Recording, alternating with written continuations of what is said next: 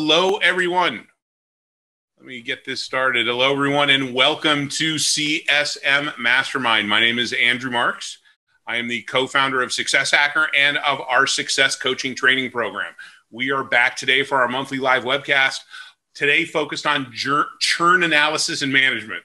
This free learning event is brought to you by Success Coaching, the world leader in customer success professional development training with more than 5,000 graduates globally.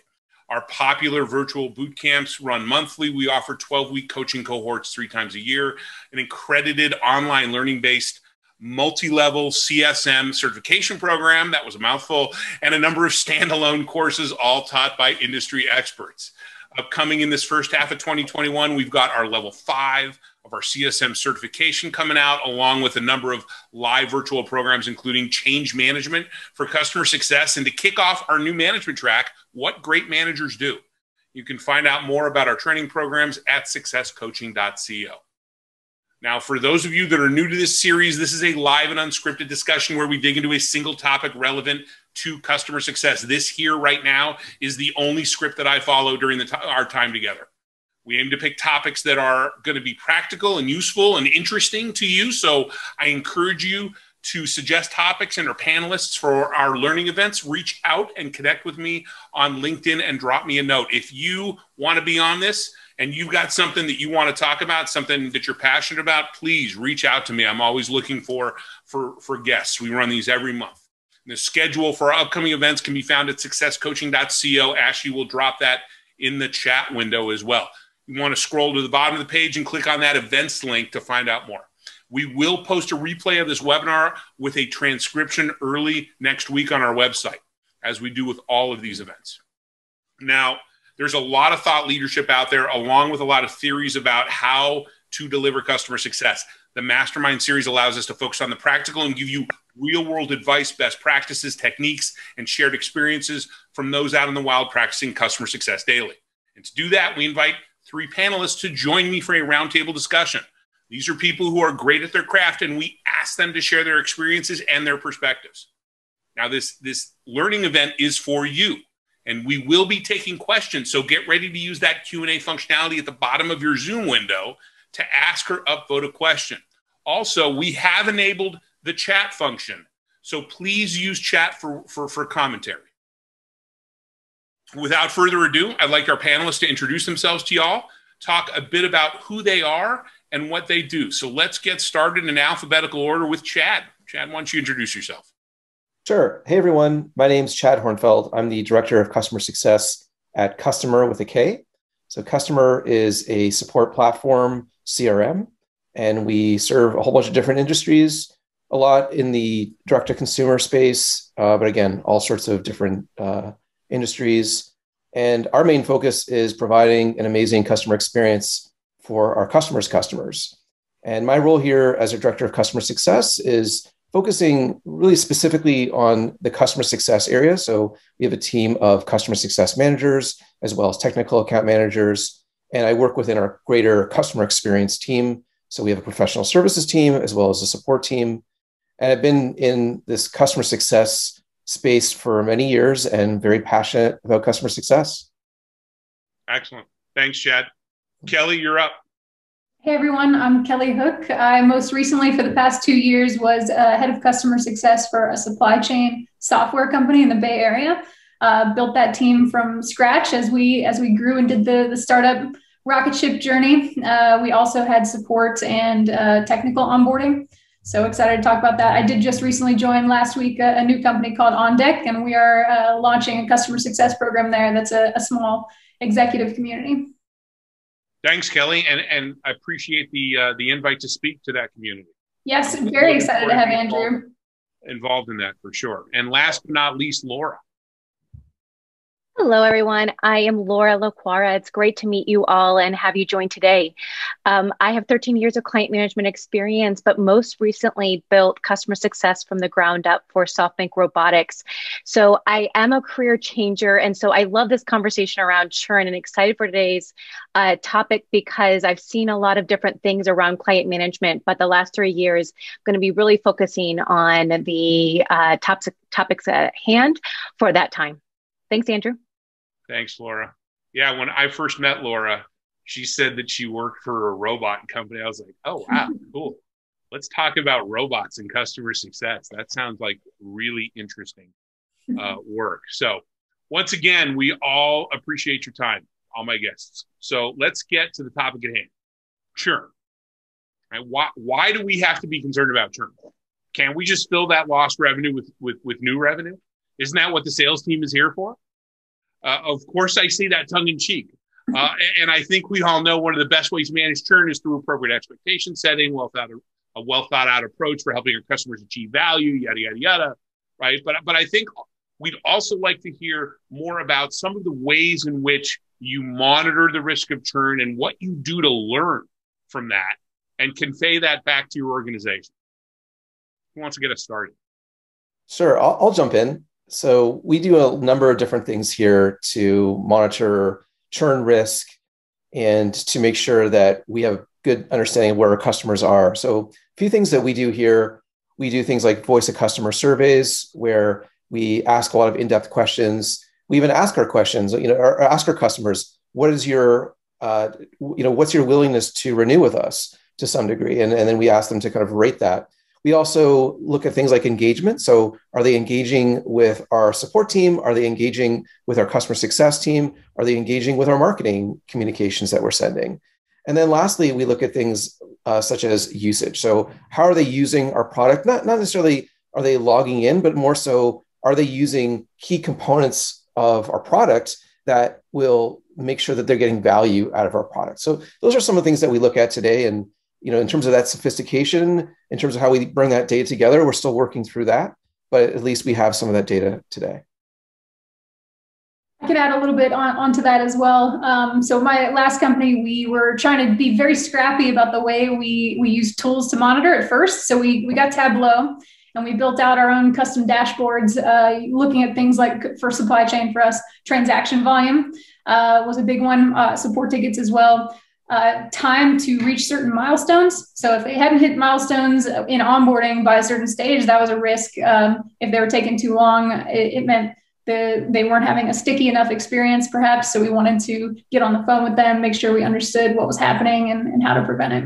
And I'll also add one thing that I learned early on was uh, when reporting churn up up to the leadership and to the uh, we had the Andreessen Horowitz board uh, we, we reported uh, net MRR. So I'm curious if other people use that one versus gross MRR or, or whatever. But um, net MRR is the percentage change uh, in MRR due to like expansions, cancellations, and downgrades.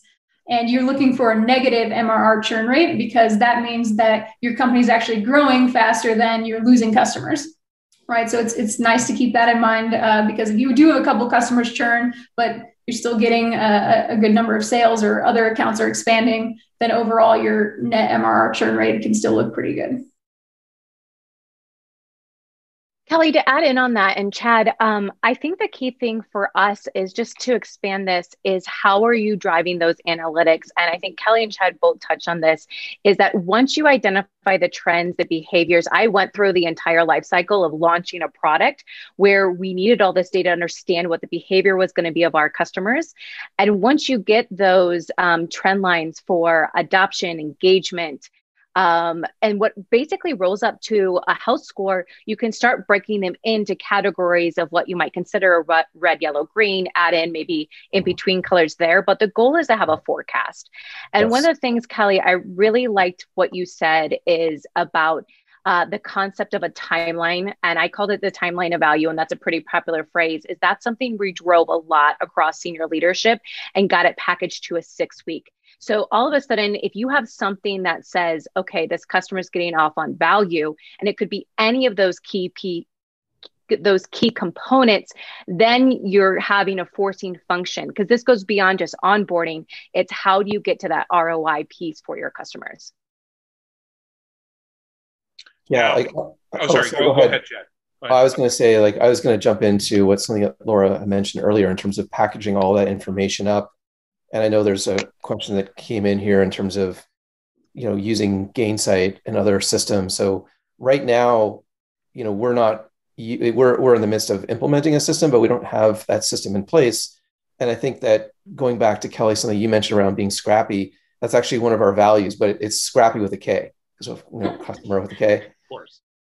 But it's it's really it's it's you need to be you know scrappy because you need to have that forecast. So whether you can pull that data together in one system or you can you you you have to pull that forecast together. So at the moment, you know, when I first started, there was we didn't really have anything, and so I just started with a simple green, yellow, red, and had the CSMs manually update that, and which is not great, um, but it's a starting point, and so you can start to get the executive team on a cadence of regularly showing what the, the yellows are, what the reds are, why they're yellow and red, and getting the company rallied around what might turn a customer going down that wrong path towards that churn.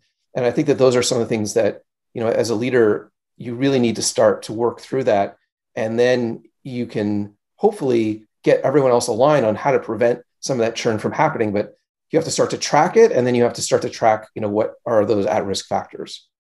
Yeah, and that's that's that's key, right? We need to track what what's happening. We need to identify the variables that play into it occurring, and then you know, and and where a lot of companies uh, that that that that I've worked with and that I've worked for, unfortunately, um, ha- have failed to do is okay. Now, now that we know this stuff, how do we then change what we're doing? Right? How do we incorporate that back into uh, you know, uh, into into product and, and and and some of the gaps that there there are that are causing people to to churn or into sales or marketing because the misset expectations. Uh, you know, one of one of the best things that you can do to to grease the skids of a churn is to have a, a bad handoff between sales and post sales or misset expectations. Uh, and and so you know what have you you know, what have you done to effectively feed that type of information back into your organization? Well, I think Andrew, one of the questions that came in is is really appropriate for that, which is about handling postmortem for customers that churn, because this is one way to get feedback on, you know, are your assumptions accurate about why customers are churning? And it, it reminds me because one of the things probably that we heard most recurring was that the expectations set in the sales cycle were not exactly what was delivered right? And, and as a startup i mean we were also going through some major growing pains about identifying the right customer profile from the beginning. Um, you know at first we were wanting to be the tool for everybody and then slowly we realized exactly what's the the customer that's most successful who can get through onboarding most quickly start funneling that back into the sales team. So really looking at the partnership between sales and cs and, and of course product as as a cohesive unit and you know recognizing at, least for, for everyone that's in a startup like it's not going to be a perfect science. And as you kind of hone your ideal customer profile you learn from the people that leave um, and try to have you know it, it, the questions about how do you structure postmortems or, or how do you handle them um, trying to have with as soon as somebody tells you they're leaving or ideally you knew in advance but if not you know you find out you're able to get them on the phone for an interview, a short one. Um, and it's really, hopefully, you have a, a, bit of a relationship there if your uh, number of customers is small enough to allow that.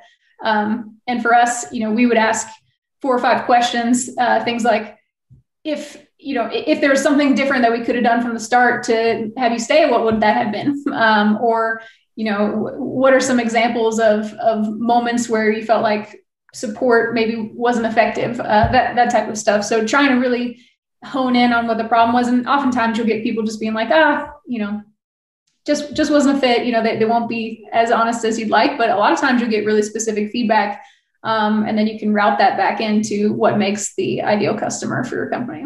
Yeah, I was going to say, I think one of the challenges you have when you do that post mortem is that, especially if you still have a relationship with them. Mm-hmm is oh i i still have a relationship with kelly i don't want to yeah i'm not gonna i'm not gonna really you know open the kimono and tell her all of the the stuff that i didn't like because i want her to still like me right and that's just kind of this this just this this or maybe she doesn't maybe she doesn't like right? you Andrew, maybe, maybe she, she, doesn't, doesn't. like you.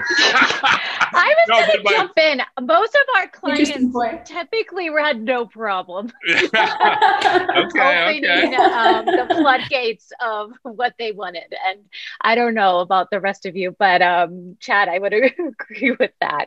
Mm-hmm. Um, and I think those that are willing to get on the phone with you still have the engagement the support of you and that partnership angle. And the one thing I just wanted to add is who can partner with you.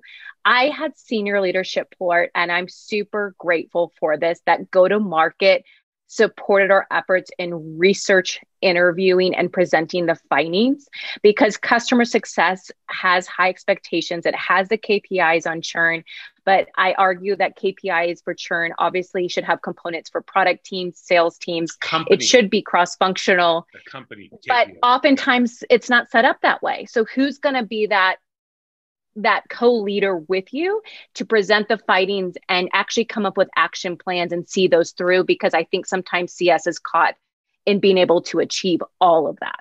Well, and that's the thing. People, there's too many companies look at customer success. Too many, too many uh, leaders look at customer success as you're the everything, team, right?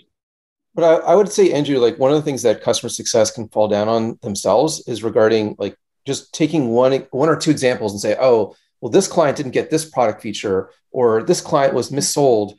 And really, what you need to do, and this is kind of how you level up, is that you look at the trends. Like you, you, you know, you, you look: is there is there a pattern here, or is right. this just a one-off? Right. And if you, and and that's why it's really important that you start you track what are the clients that churned over time. You look at the different segments. So, what segment are they in? Right. Uh, are they in a particular industry? Right. You can even narrow down like, is this a particular salesperson that sold these particular accounts and when did they sell them? Was it at the end of the year when they're trying to make their number or something to that effect? Like yeah. you really need to look at those trends and be communicating them on a regular basis. So one of the things that that we do here at Kustomer, which is something that uh, I really enjoy, and it's going um, w- meeting with our executives, certain executives, not all of them, but most of them, uh, and having a monthly meeting where we go through um, what is at risk, why is it at risk? What are the trends? And then where do we need help?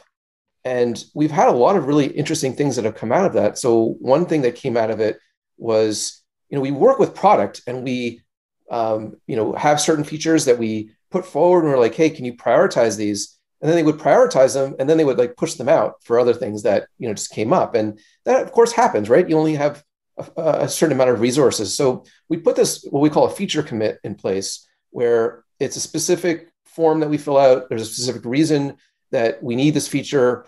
Uh, we have to, you know, justify it, and uh, I I approve it. So my team will bring them forward, and then we discuss the feature commit with the product team, and we try and negotiate a date, and then we obviously work with the client on that. But those are some things that we've done that have come out of some of these discussions where we just needed a feature and we just weren't able to deliver it, let's say, within the time frame. Um, so having those trends and reviewing them is really helpful. Yeah, I like that. Yeah, it, it, communication, right? It's all about communication, right? We, we need to take we need to take what we learn from churn and we need to communicate back to the teams that need to hear, right? And this is I was just talking about this with a team that I I, I finished a, a three day boot camp with today. Uh, we talked about how important it is that you're not framing this as we're coming to to slap your your hand because you did something wrong. We're bringing this to your attention because we want to educate you. We want you to help you understand that when we get put in these positions where you've oversold something, where you've where you've uh, um, you've misset expectations, it takes a lot more effort for us to try and get that customer back on track and there's no guarantee that they will ever get back on track. And what that does is it takes that time that we have now had to spend in that situation, and we're not able to spend it on our customers that are in a good shape, mm-hmm. that we mm-hmm. could be getting much bigger upside. And it's an incredibly selfish thing uh, to do to not recognize this and do something about it because it affects the entire company does. Yeah, one of the things that we we've done there, I'd say really well, is is just reviewing, you know, those customers obviously that are wrong fits and the impact on the team. I think the other things that we've done well are in terms of how we incentivize our sales team. So they're incentivized based on uh, like a few things. One is if new seats are added after in that first year after the initial sale, they're comped on that, and so that way, you know, they they don't need to you know squeeze everything out in the beginning, um, and they also stay invested in, in, in the relationship after that initial deal is sold. So there's some complications. I don't know if it's on invoicing or something like that. We can uh, get help from the sales team. So I think that's important, especially sometimes there's a bit of you know rough patches in that initial stage yeah. in terms of expectation. Yeah. I think the other thing, like going back to the data, the other thing that was super successful that I did, because I think that when I look at it, when you're trying to convince executives, like you have to bring data. And so there's churn data, which is data. It's not great data. No one wants to talk about churn or bring churn. Hey, look, I've got churn. Um, that's never a good way to start. So, you know, using what I had mentioned, the voice of customer survey, that was really helpful because we we launched that. We, we actually had really structured data that we can bring forward. And it really pointed out some key areas that we needed to improve. And in fact, it, it actually changed the strategy in the company because it, it focused us on a specific product area and we doubled down. We actually took resources from different areas and improve that area. And the other thing is that we also found some customers that we didn't weren't aware that they were in trouble, and it allowed us to focus on them. Hmm. Oh, I'm curious. Um, so it, uh, the more that was a, very positive way that you guys helped incentivize the sales team, which is great. I've heard some uh, alternative examples where commission is removed if the customer churns within the first six months. We didn't try that, but that is something I, have heard. We we do that too. So we we do okay. have the flip side of that too. Yeah. Nice. Um, one, one thing that did work on our end is for customers that were going to reach a certain tier that were, you know, high, high value prospects. Our team had a solution architect, you know, type role that would sit in on the pre-sale side and make sure that expectations were aligned before the deal ever closed. So that that was a huge uh, win once we started having that uh, you know type of involvement early on. And it's really you know not waiting until the deal closes to have this kickoff call where you're like, all right, what are you expecting to get out of our product, and you know why are you buying? Uh, that should really be pre-deal close, in, in my opinion, um, just to make sure everyone's on the same page, and and then close. Of course, sales is like, well, that's going to take more time. That you know, it's a relationship you got to work out there, but in the end, everyone benefits. The one thing um, I wanted to jump in and add and discuss is just um, I'm just totally blanking. Andrew, take, take, over from me. I just had it, Kelly, but I got um, distracted. I was so excited to hear this. well, we had a, we had a question come in about um, about the survey around voice of the customer and Chad. I don't know if you are able to share some some questions you guys use there. Yeah. Uh, so first of all, we send it to existing customers. We we treat churn customers differently, similar to what you were saying, Kelly. We like call them up and try and get more information. So yeah, some of the questions that we'd ask, uh, for example, uh, how can we do? How can we be easier to work with? Um, we would ask the standard NPS question, and then we'd ask the, the simple, similar NPS question, but uh, across different areas of the business. So you know, if you were to tell a friend or colleague uh, you know, about the sales team, you know, how would you rate us? About the billing team, about the support team, about the CSM team, about education, and about marketing materials. And that way we can actually rate all the different areas. And the best question that I put in, and I love showing this, and this is how I, I would say I engage the CEO. Eh, you know, the question is, if you were wanted to say something to the CEO, what would you say to them? And uh, it's really great. A lot of times there's, you know, some just really great information. Sometimes they'll say, hey, you know, give the CSM a raise or something like that. And so there's usually some really good yeah. quotes in there that I can share. And then what I do is I pick stuff out of that survey and I share it with the broader company. And that's all part of marketing your customer success team as well and making sure they know, you know, what you're doing. But what was really important about this survey is that it wasn't just customer success, even though I was the one that was pushing for it. I found out that, you know, we use Qualtrics in marketing. I was like, oh, I'm going to use that tool and then I went to the product team and asked the product team, what questions would you like to ask? And then they partnered with, I partnered with marketing and product in terms of presenting to the whole company. And the product team was really happy, the product engineering team, because we asked questions, you know, around the, the product, is it easy to use? And, you know, is it, is it stable? And there was really good response there. There was obviously some negative parts of the product too, but there was things that they could rally around. And I think that's really important too, is that going back to our original point where customer success isn't just the team; it's the it's the company. Right. And company. if you're doing these types of initiatives, it's this is a way to bring everyone mm-hmm. together and working on your side. So it was a really powerful initiative, and is something that I, I really recommend to help you, you know, leap, you know, over some of these hurdles that you might have because it just you have that data that you can now bring to the company. And just just around it that came back to me. Whoops, sorry, Laura. Kelly, really quick, I'm going to jump in so yeah. it stays. Um, how do you celebrate and take the stigma from churn? How do we celebrate feedback and anytime customers engage and provide us an NPS score, whether it's high or low, provide us product feedback?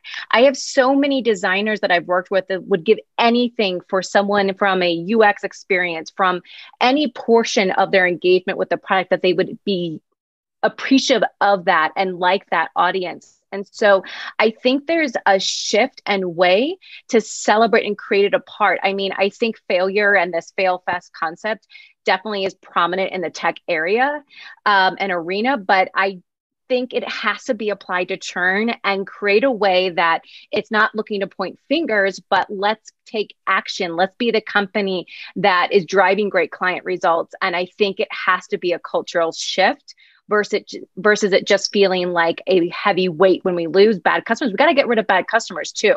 Yeah. You've got to get your ICP right and not have customers weighing down the teams. So, um, Chad, thanks for uh, bringing things back from my memory. But that's that's the key thing to me is that you want customers giving you this feedback. So let's celebrate it internally so that we can actually take action. I think that's that's a great point, and it, it, it kind of reminds me here. The question that Jim had asked it includes like when you're sending that voice to the customer survey, is it also like NPS? And for us, we we wrapped it all in one. We had 10 questions. One of those questions was, would you recommend our product? You know, that is the NPS question. Then we did the same thing Chad did with their team, which is uh, work with the product team to understand what are the top three, four questions you want to ask customers. And we make it super simple. You know, some of them are just some of the answers are just scale one to five. Yes. Um, yeah, you know, exactly. you, not a lot of open-ended questions like how fast can you do it, and we we got such low response rate just sending that stuff over email. The best time we got responses would be like you do a QBR, end of the QBR, or you're on the phone with someone, you're like, hey, by the way, we, we'd like to send you this survey. And they would mm. almost always uh, respond to that survey just after talking to us versus like a cold email. That's one point. But to Laura's point, you know, when we'd get high scores or good feedback, one of the ways we would celebrate that internally is uh, basically turning into either a quote or, or sharing a quote at an all hands like talking about that internally at the company or bringing them, bringing them into a use case. So some of the questions we had are actually um, based on the the initial, you know, what what will make you successful? The questions that we normally ask, like pre-deal close or kickoff, we weave that into the the survey because we know that's what we want to go to market saying that the customer is successful with. For instance, we we want to pr- at, at Orderful Supply Chain Company, we wanted to prove that you know we were saving our customers like 25% more than our competitors in money. And so we would try to get them to confirm on the survey just like yes or no. Uh, you know did has orderful saved your team costs? Um, and then if they said yes like i would usually follow up with them or, or one of the team would to try to get them to actually quantify how much we've saved them so that we could use that in, in a use case and, and continue building them as an advocate. Nice. That's a good, that's, that's a nice strategy. And um, just answering a question here uh, from Brett that we would send it, we're, we're sending the survey out twice a year. So we'll see. I think that's sufficient. We also have an in product NPS survey to get us a little bit of other data. And we're going to be testing out different types of ways that we can survey our customers after certain engagements they have with us, whether it's a you know business review or some other type of initiative. But chad did you send it out twice a year like same date or would you would you do it twice a year based on when they joined? Like c- customer joined you'd send them yeah. it's a good question. So mm. it's, it's based on this like a similar date so that we can kind of gather all the data at once. But we also that's what i was say, saying we, we also are experimenting with surveys based on when they go live or surveys after renewal. Like now that we're going to start to build in more of an orchestrated approach to our customer journey, uh, we can start to do some of these other types of surveys ongoing. Hmm. So, so, um, um, thank you. Can you, by the way, can you hit done on on Brett's question so these scroll up? And can you do the same, Kelly, for Jim yep. Yep. as well? Uh, excellent. Thank you for the questions, by the way. Um, so so here's so what do you do though for the you've got the you've got the uh, you've got the um, the vocal minority. What do you do to deal with the silent majority? Right, the, the, those those people who don't talk, who don't answer those surveys.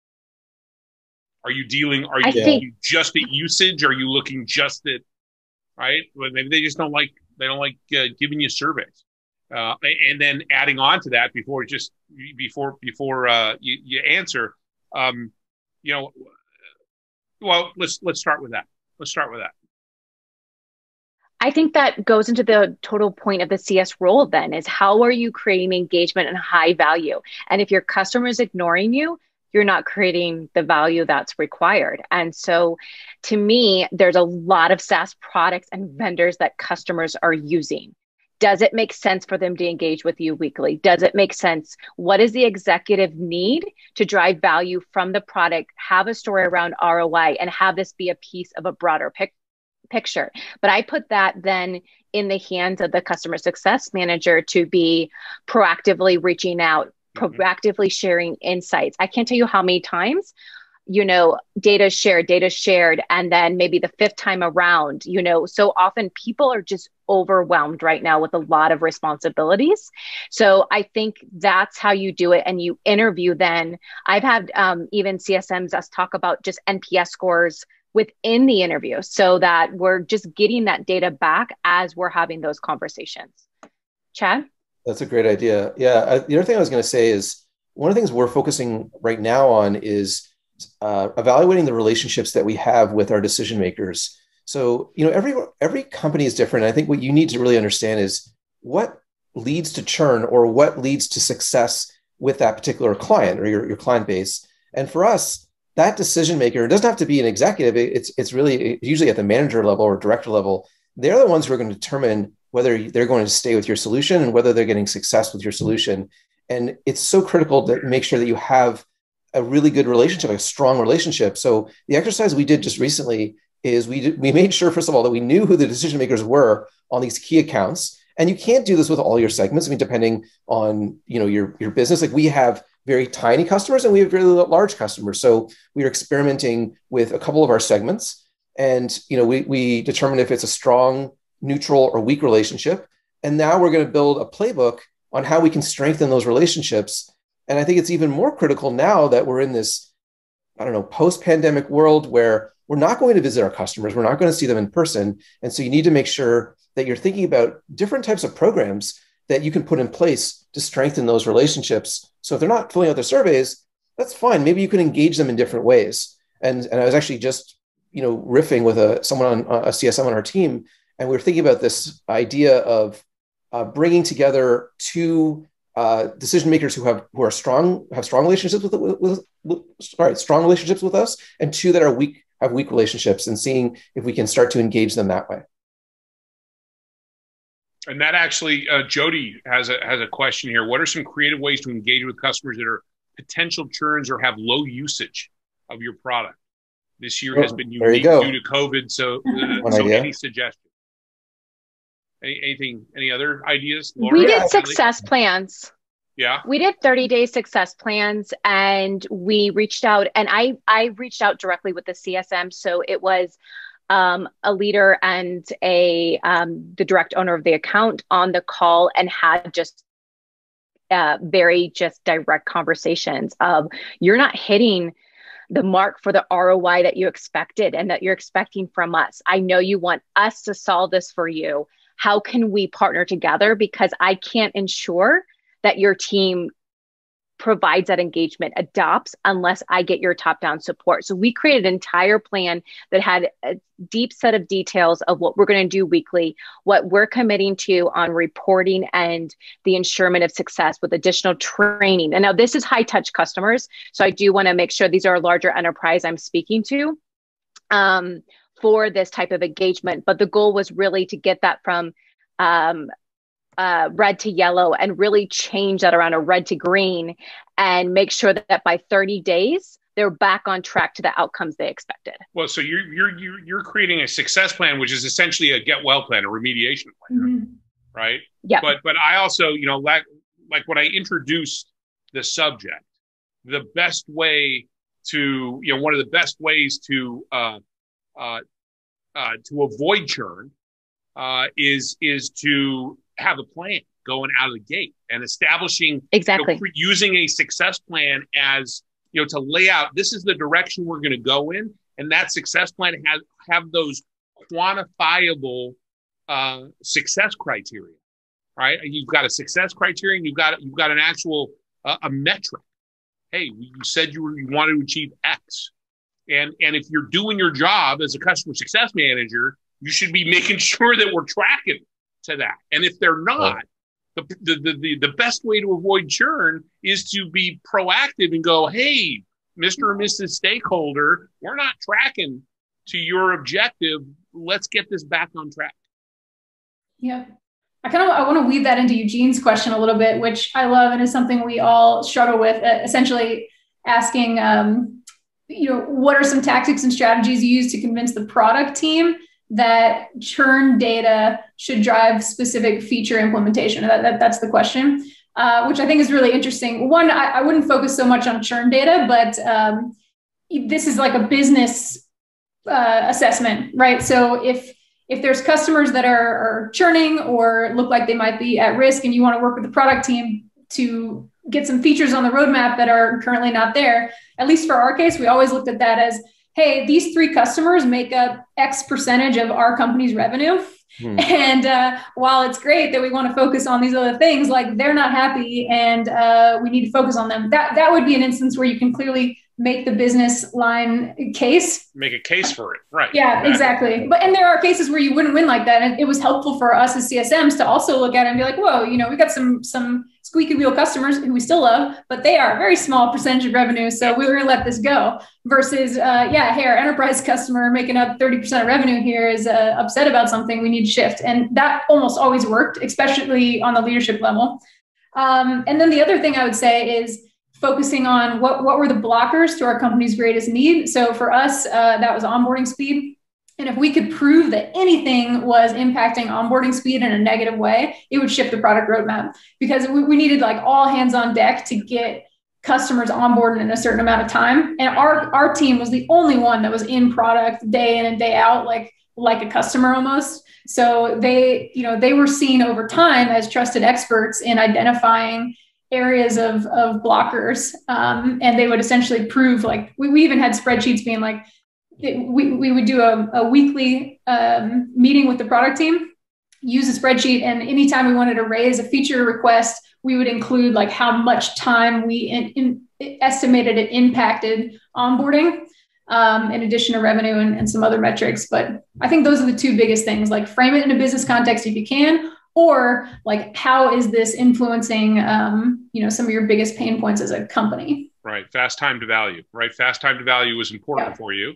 so okay, so well, fast time value it, might not be variables, right? But, but Andrew, like I would say, maybe it's not. Like uh, sometimes the problem is that there's just a misalignment between the functions, and yeah. and sometimes it has to go up even higher to like the CEO, like who you know, if if if product's main role is just pushing out product, and it's not focused necessarily on the business, you know, it, which sounds strange, but sometimes those there's you know companies, especially startups, are growing so fast and there's there's misalignment. And so it's really our job is to make sure there's alignment. And if there isn't just call it out and say hey like what do i do here? Like these you know customers are churning.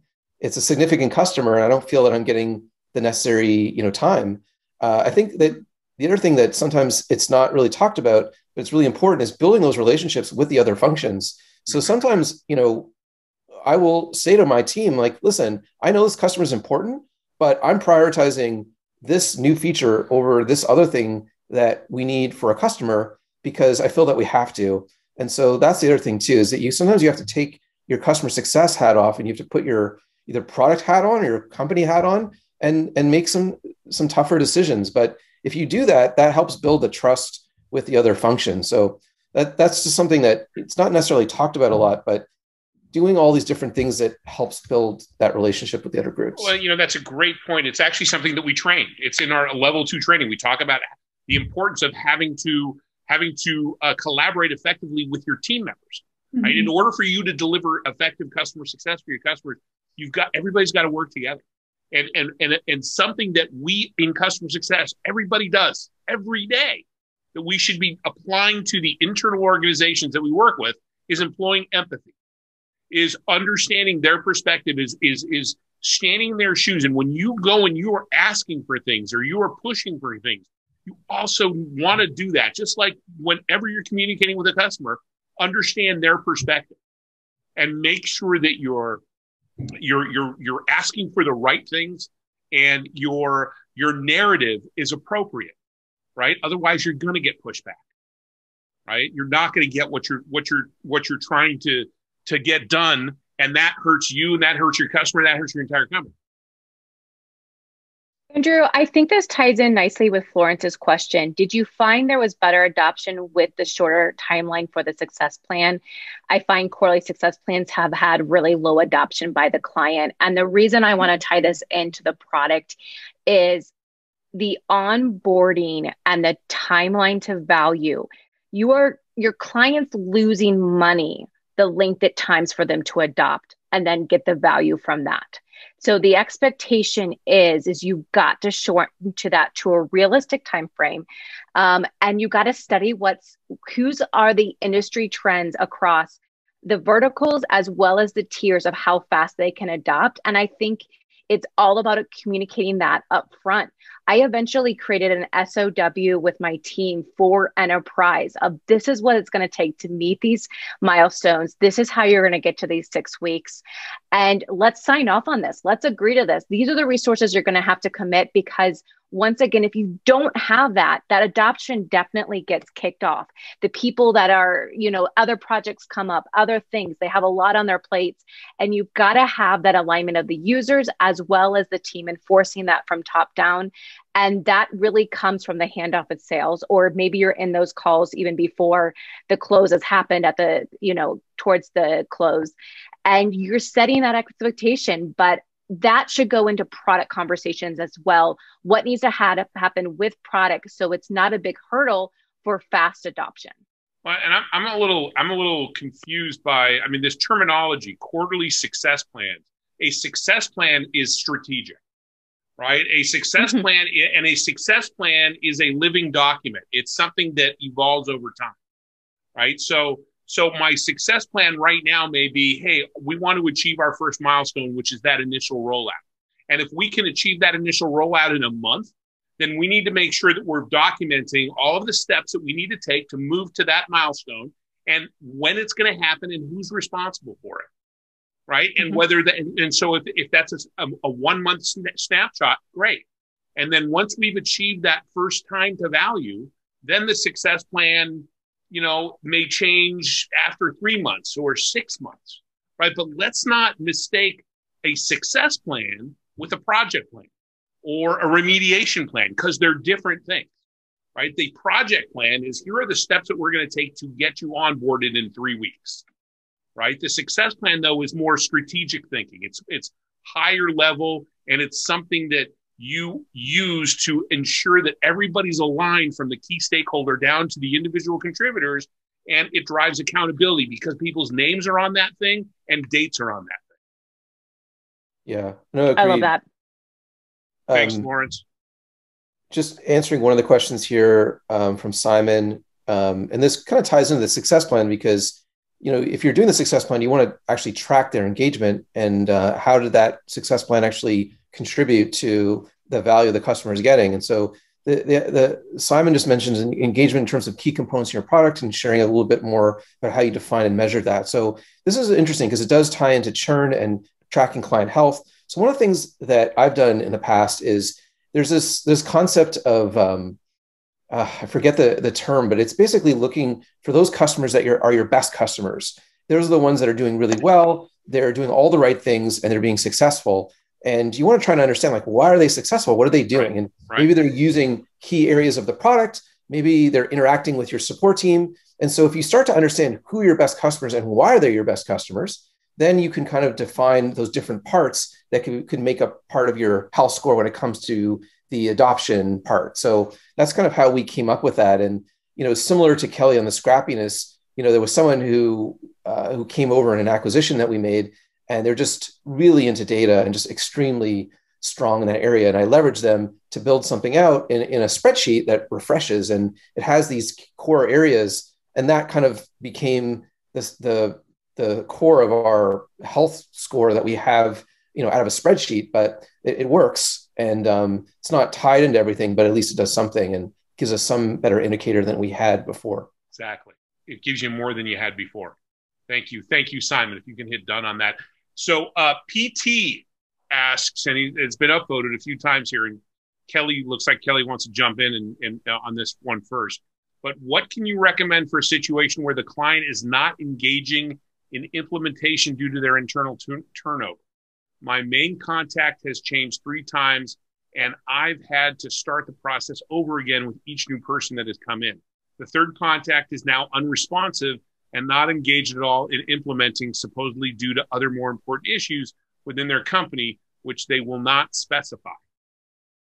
Yeah, this is interesting. And I think everyone will probably have a, a comment on this one. I can just intimately relate to this. Uh, this happened several times at, at my previous company as well. And we, we had a lot of internal dialogues about how to address it. Um, on the one hand, uh, it, it probably depends on how you get revenue yourself. Like for us, we would get revenue up front.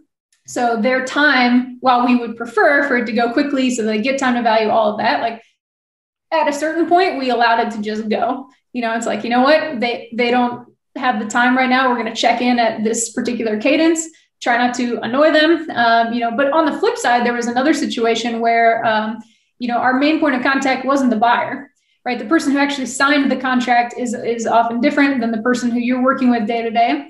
So if you're really not getting responsiveness over time, you have to be delicate here. You don't want to go around your point of contact, but you know there there is a situation where you you might want to check in with the person who signed and say like these are what we agreed um, you know the, the reason you bought our software our service and i'm just noticing that it's taking a long time to get to this particular milestone we agreed on i know there's been some turnover just want to check in you know, and make sure we're still on track here. If there's anything our team can do to to make sure you're getting what you signed up for, like that. That was kind of the approach we took.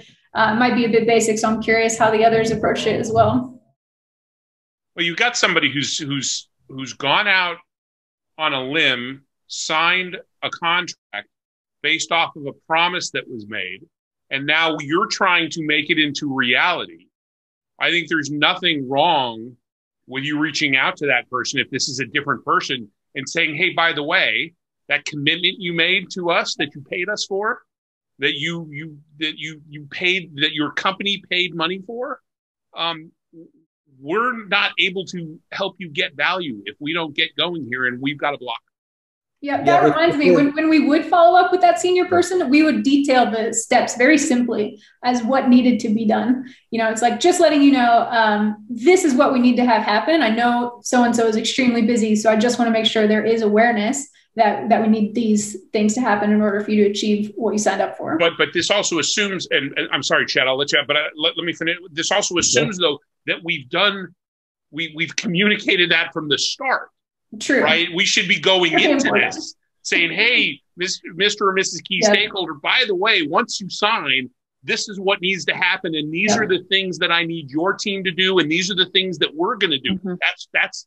there's where the success plan becomes a key, key piece of information right out of the gate. Sorry, go ahead, Chad. Well, the only thing I was going to say is sometimes you have a new person that comes in and they're just like, well, that other person bought it. I don't care. So if it if we waste the money, that was on their their end.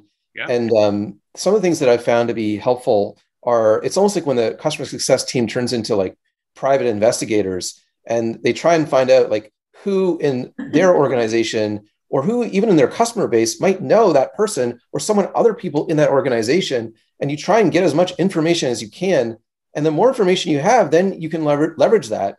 And so you can come at the person and say, okay, well, you know, um, I, you know, I, I know that you know your company is maybe having these problems, and that you don't have really a, a choice or something to that effect. You don't want to obviously do that, something like that, but you want to to leverage the relationships. Like the best thing you can do is have another customer that knows that key contact that maybe is ignoring you and just say, listen, I see you guys are connected on LinkedIn. Can you reach out to that person and maybe just engage them and say that this product will really help you in these areas.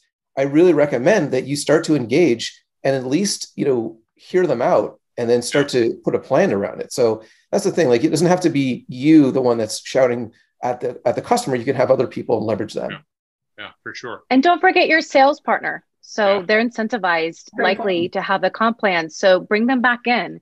Yeah. Um, make it an easy process for them to reach out and don't hesitate to leverage your resources. And one of the things that you and your sales partner should be also looking out for, especially during the sales process, are some of those uh, maybe middle managers or individual contributors that seem particularly interested, right? And and and when you spot those folks, right, uh, uh, start to establish a relationship with them. And while they may not be directly influencing the decision, there um, it's amazing to have those types of those types of people. You know, especially the boots on the ground that can give you some G two on what's going on higher up, right? Um, yeah, just just answering uh, Benny's question here yeah, in terms of how you have strong decision makers interact with weak decision makers, and and so we actually so one one area is the community. So you know this is another scrappy project that we threw together, uh, and you know it was something that the, my company wanted to do, but we weren't really sure how to do it, and then COVID hit, and it became really easy to say, all right, let's just do a Slack community. Let's start inviting people to that Slack community. And now we've put actually some more uh, bones around it, and we actually have the entire company engaged with it and putting content. Uh, it still needs some more work, but it's definitely better than it was. And we just experiment with it, and we we do invite different customers in it. We once a customer starts to ask a question, and we, that's what we do. We encourage them not just to go in there, but ask a question. And once they ask a question, then they see some of the more stronger participants answering those questions, and and they become more part of that community. One of the things actually we we kind of stumbled on, which is pretty obvious, but worked really well is that our head of product jumped in. It was that person's turn. And he's, he did an AMA, like an Ask Me Anything. And my CSM team was funny. What they did is they started reaching out to all of their customers and saying, go to the community and start asking questions of the head of product. And so we had all these questions that came in. And we realized like that was like a really successful thing that we did. And maybe there's other AMAs that we can do with other people. It could be head of support. It could be myself there's lots of things we can do there. Um, and then the other idea that I mentioned earlier was just doing like a really informal event. Um, I don't know, you can call it, um, you know, a clubhouse or something like that. I don't know, not, not using the, the product clubhouse, but same, it's a similar thing. I mean, you're just getting people on a, on a call and, and just throwing out topics and, you know, what challenge do you have here? And just getting these people to engage. I mean, theoretically, they should have more time. Nobody's traveling right now. Right. So if you get these people who are in the same area, you know, sometimes you can't do that. They might be competitors, but for the most part, you can get certain people on the line. They want to talk shop and help each other and learn from each other. There's no other real way there's that they're engaging with each other. So if you can help facilitate that, then you'll look like a hero. So yeah, if you have to get creative, we haven't done that yet. I'm, this is stuff that we're sort of playing around with right now and trying to spin up. Love that. Um, cool. Can you hit done on that? Um, I, Ernesto asks, which key elements would you consider uh, that should be included in an action plan to reduce churn? Would you say that it's important to develop action plans that are segmented for different churn motives? Laura, you want to uh, want to jump in on that?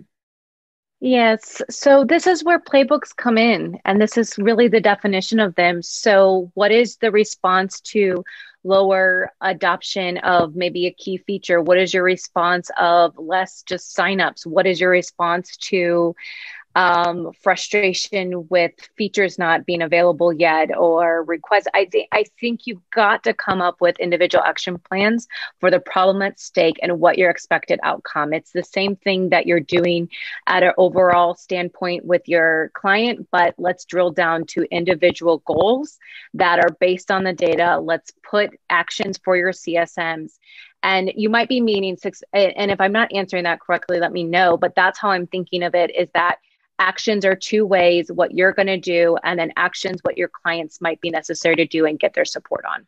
Yeah. Yeah. No that's great. Anybody else want to want to weigh in on that? I think it's a it's pretty much okay excellent. Thanks ernesto. Uh, savannah it's a great question. Um, do you find it harder to create a strategic success plans with every client when each csm has an overwhelming client load? How do you ensure the success plan doesn't fall off after the first quarter? Yeah, I'm gonna I'm gonna take a quick swipe at this because I'm a huge fan of success plans. You don't create a success plan for every customer, right? You need to segment your book of business, just like your your company segments your your business, right? Success plans, and there are ways in which you can automate certain aspects of success plans, right? But you you need to first dial in what a success plan is and and focus on your larger customers with the biggest upside because that that's really where you need to you need to focus that energy anybody else want to weigh in on that i would agree with that i mean uh, yeah, that's that's how yeah. we approach it as well yeah yeah and there's some interesting products that are coming out that uh that can automate this. You can even do something simple as some uh, scheduled reports that send out a report on a monthly basis. Says here's here's your usage. Here's here the. I mean, we're we're actually working on that for our own subscription, where we're sending to leaders. We're going to start sending to leaders on a monthly basis. Here's where your your your team members are, how they're tracking in their learning plans and things like that. And that stuff is it's, you know, it's it's a low touch, and but but with our larger uh, clients with our bigger logos, we're going to have a, a higher touch, of course, and we're going to have a success plan that we're going to keep updated. So it's just not realistic to do a success plan for everybody. Thank you uh, for that uh, for that question, Savannah.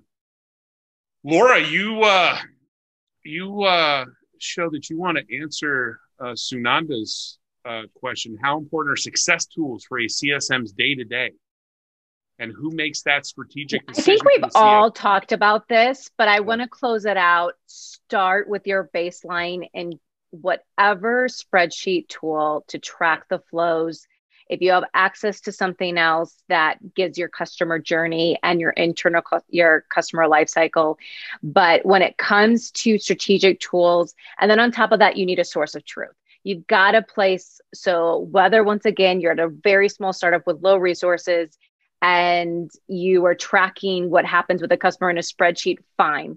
Just keep everyone towards that source of truth and then you can build from there. I think what's most important to me is a CRM, a healthy CRM where calls, emails, everything's tracked so that as you scale as a company, you at least have that in place.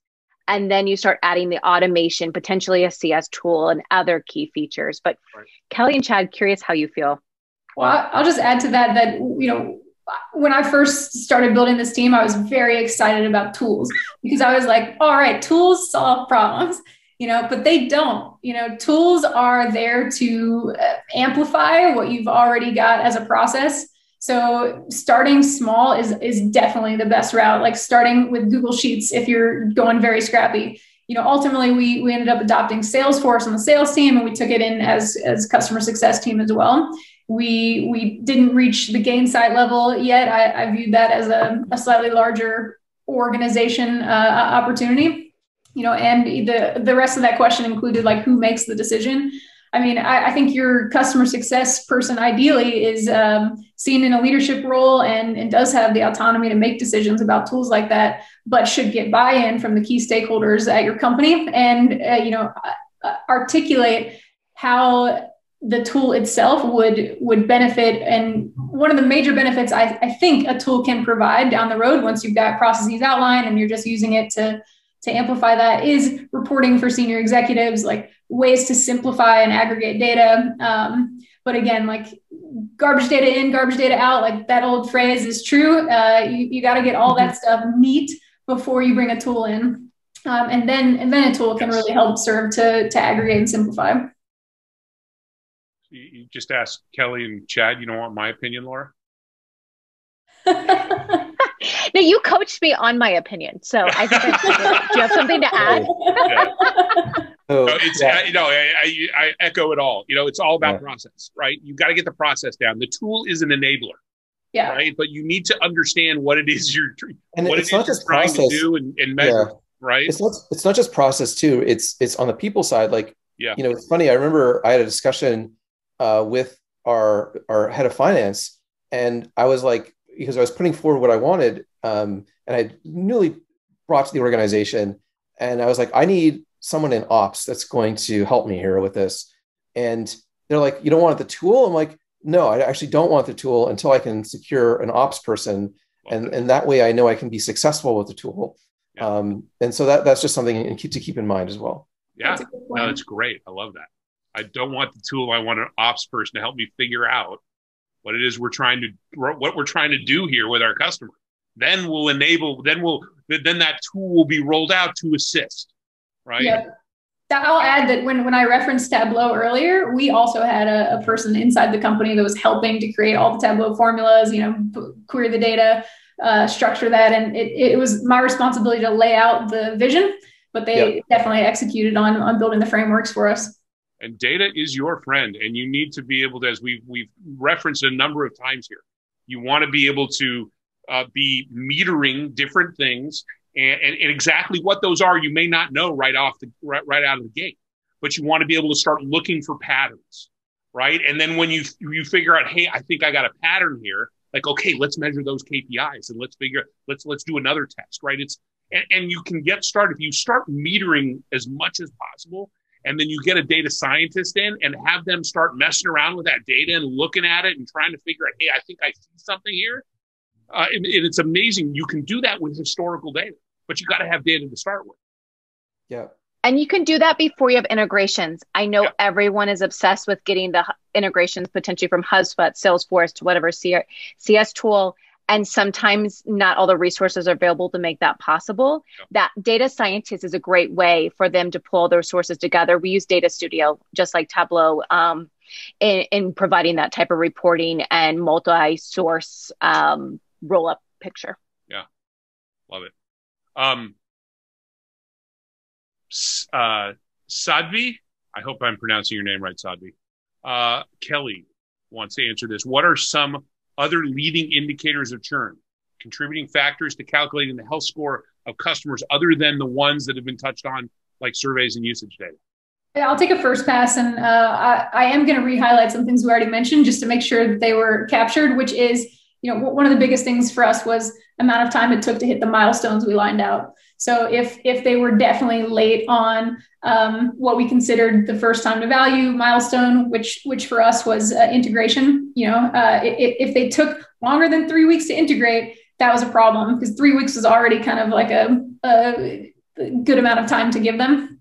Um, another one that ended up being huge over time was just not responding to emails with our CSMs um, or anyone missing meetings, like large stakeholders or important stakeholders missing meetings. And that type of stuff, uh, it, it, took me almost six, seven months to realize wasn't always being escalated and was very important.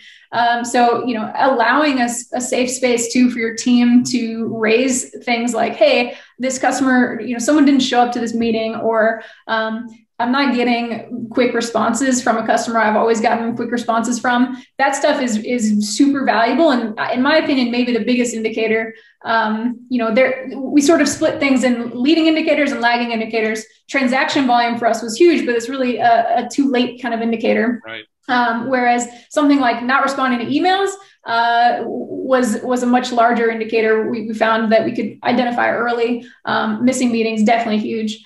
Um, and when that would happen, I would usually come in and, and take like a relationship building approach, which isn't always possible if you've got a lot of customers and you're low touch. But um, uh, for, for me, that was the strategy we had. I was getting on the phone with them and, and trying to build that up and I, identify what's happening. Also, if you have if you have a more complicated rollout deployment, if you start seeing a pattern of you know commitments starting to be missed, I mean one one or two here is one thing, but if you see yeah. start seeing this pattern of hey, this this individual, this group, this team is keeps missing their commitments. That's mm-hmm. definitely a a leading indicator as well. Yeah. Another thing we haven't talked about, but it's something another kind of weapon that I use on, on the tool front is something like Gong that records calls. And mm-hmm. um, it, what's really cool is that you can set it up so that it looks for certain keywords. And so, for example, I look for competitors as an example. We're in a pretty competitive space. We have some people that come from our competitors, and you know we feel our product is better because it is and it's fine if they've come and used a competitor you know in their previous life but if that comes up then that can trigger a whole different approach to make sure that we're working with that individual and so they understand you know what are the key differentiators. And so that's just something that you can use as well. And the other cool thing about gong going back to uh, on the sales side where you know you may be bringing in wrong fit customers Gong keeps the sales team accountable too. So if there were something that was said in the sales process and the customer's like, well, this this is what the salesperson promised, that we can go back and, and review those calls and try and verify what was actually promised during that time. I'm, I'm so curious, Chad, because we we tried Gong and it was awesome on the sales side, like you just mentioned. But I found it overwhelming to to really review content, even though yeah, key, keywords being raised was great, and Gong has some great analytic capabilities. But you know, I wasn't and as a team, we weren't really going back and like re-reviewing calls in the way I, I, thought we would. So we ended up just moving it over to sales only. So how, how are you effectively using that tool? Yeah, I mean, you, you kind of narrow it down, like you look for certain keywords uh, as a starting point. But the other thing is, I, I, think of it as like almost like being a football coach, where I get to review certain calls of the team. I don't review all of them, but a few of them. And I like to hear, you know, how do they talk about the QBR? Like we we spend time building this thing out. How are they talking about it? How are they asking the, the customer certain questions? So if you if you kind of look at it from that perspective, just on a few things and not like doing everything, and then mm-hmm. also, you know, maybe there was a, a call that was a tense call that we've heard about. Um, you know, then review it that way. And then lastly is um, I, I like to pull out certain things where we ask the customer, what's something successful you found from our product? So they like to take tell us all the other stuff, but what's something successful? And so then we take that snippet and we actually share it with others in the company. Um, yeah, so those are just things that we can do. Yeah. Nice. Excellent. Chad, I'd second that. That's exactly how I used it. I found it to help me remotely to be a, um, a manager and do play that player coach. I couldn't be on all phone calls. This is the opportunity where to take that. And I actually had a CSM lead initiative where we listened to each other's calls once a month and gave each other a round robin of feedback. And I was included in that, which was really helpful. The one thing I wanted to add that I think is very important in a year like last year is customer business health and what's happening in the industry and your churn reporting because forecasting for businesses like travel, like retail, that might be impacted by economic factors, um, don't forget that in your health scores because yes. you've got to be be prepared to forecast the impact and potentially you not being a service that they need at a time where they're cost cutting across the board. Yeah, good point. Good point. Yeah, that's a good point. We've got we got like five minutes and we got three questions. Let's see if we can get through them all, and this will be a first. Um, uh, so, uh, Chad, do you want to answer Eugene's question? Sure. I think Eugene was mentioning like for a lean startup that you know sales might be kind of owning you know different hats, and I think with a startup you have to do whatever you have to do. Like you don't have a choice usually. You know, churn will tell you that there's a problem, or you know the customer feedback will tell you there's a problem, and then that's when you have to change. Or your team, like people are telling you they're a problem. If people are leaving your company because they're not happy, they have too much stuff on their plate. Yeah. Then you know you just have to look at those different factors, and hopefully you get more funding, and then you can determine like how you want to structure your team. Excellent. Anybody else want to add add to that? Okay, cool. Chad, if you could hit done there. Um, Steve, uh, it looks like Kelly wants to jump in on this one. Steve, for young companies that are just not ready for CS function, how would you recommend bringing that function into the org? Start with a leader like Laura first, or Kelly, or Chad, and hire as you go. Also, how do you focus that small team's time early on? Fire hose or focus on the largest customers first? I'll start with this, but then everyone else definitely chime in. Uh, for for us at Orderful, we looked at it as necessary to have a player coach role. So when, when we thought about the idea of a leader, you know, it's a leader who's willing to roll their sleeves up um, you know, that was me. Like I, I also was actually joined the company in another role. We just realized real quick that we needed customer success. So I moved over internally to do it. And it was very much like, you know, handle everything as long as I can and then hire as needed. Um, and that that seemed to work well. Um, and and I think it's going to vary per organization and, and what your needs are. I mean, if you have the luxury of of scaling the team as the company grows, then then that's great. Maybe that's not the case. But yeah, curious, Laura, like how, how it worked at your company. Obviously, SoftBank, much larger organization, but you basically had a startup within it. Sure. So I was brought in when I uh, really on the solution delivery. So the product was already being sold, and we went from a purchase to a robot as a service model, just your your traditional SaaS model. So I think when it comes to SaaS, when it gets comes down to value and churn.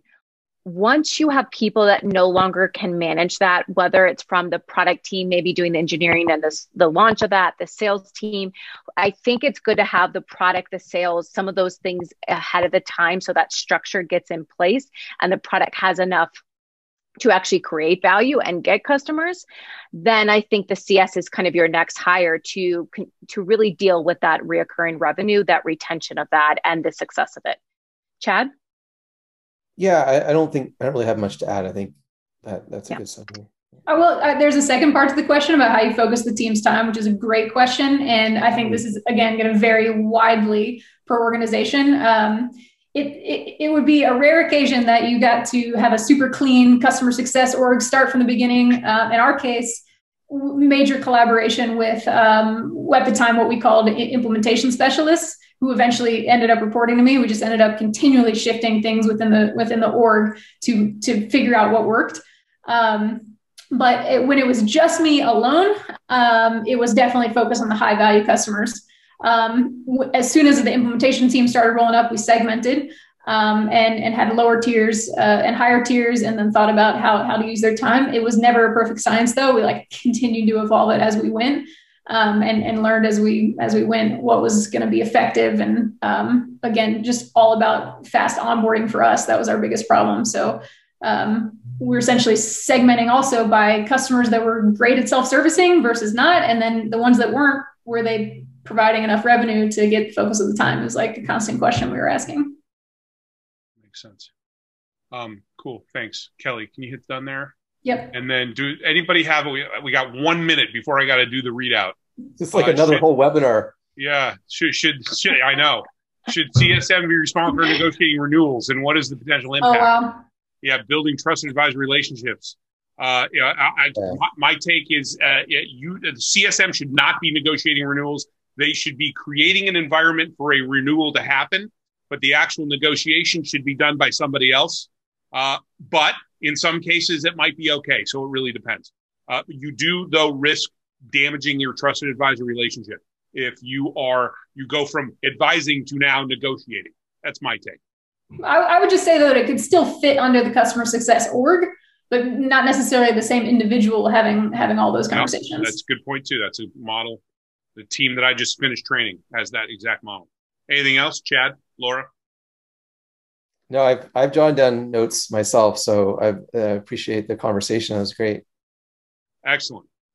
Well, hey, listen, we're we're uh, we're at the end of the webcast. I think it went well, uh, but it's uh, it's not what I think. It's not what my guests think. It's what all of you think. So please let us know by posting your feedback on LinkedIn and tagging either myself or Success Coaching or any of my fantastic guests. I want to I want to thank you all for spending the time with us. Like I told you, I said, I said we were gonna have a good conversation, right? Uh, we just got to get it started, right? I knew this from our from our prep call, so definitely appreciate the time that you spent with us now and during the prep call, and for the ideas, thoughts, insights, best practices uh, that you share. One final note: great CSMs know that they can't. I'm sorry, great CSMs know that they don't have all the answers, but they know where to get them. That's why we created CSM Mastermind to harness the knowledge and experience of the community to help improve everyone. So we hope you got something out of this discussion. We'll see you at our next event on May 19th when we'll discuss delivering value, something everyone should be focused on. Until we see you again, have a great rest of your day, week, month. Stay safe and stay healthy, everyone. Thanks, you guys. Again, thank you. Thank you. Great job.